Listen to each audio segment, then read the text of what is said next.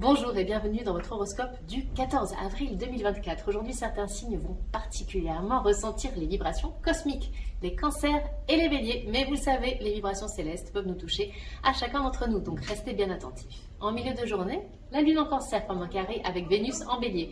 Cette configuration peut susciter des tensions dans les relations, mais aussi une opportunité de guérison par l'expression sincère des sentiments. C'est un moment pour réfléchir avant de parler, surtout pour nos amis les cancers et les béliers, on le disait.